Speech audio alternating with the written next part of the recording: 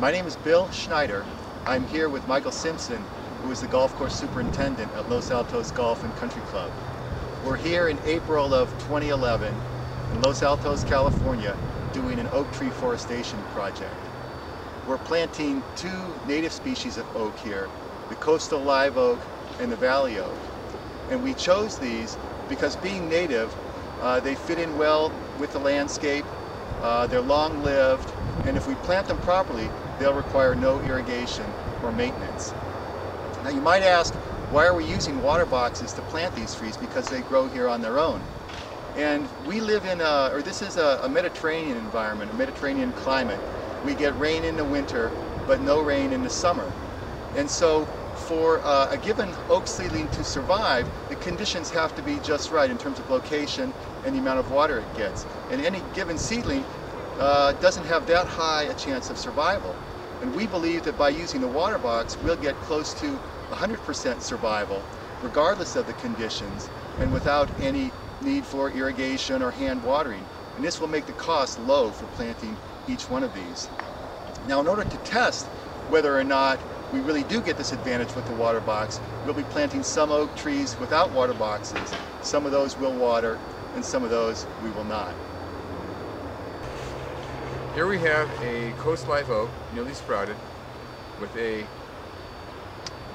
with a minimal top growth and a fully developed, unimpaired root base. We think this is uh, going to give us the best chance for a healthy plant. We've selected a site. A slight incline, so we've had to level a small area, dug a hole accommodate the roots. Brent will be cupping the uh, roots with his arm and adding soil.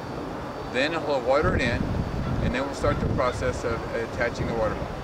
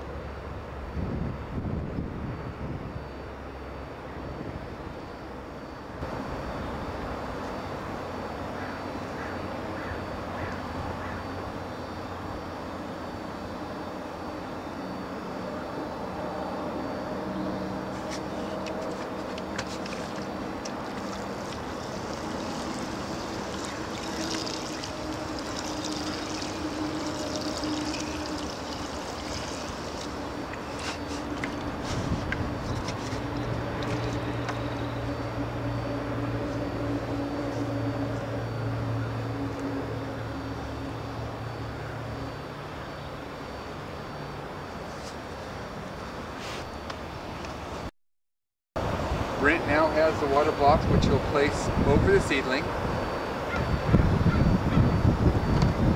Then he'll take the anchor spikes and on each side place the anchors. And the last step is fill the Waterboxx with water.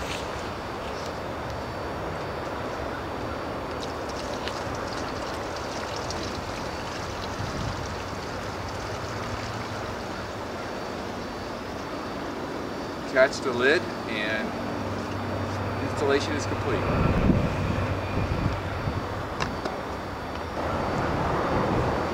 No other maintenance or watering will be necessary.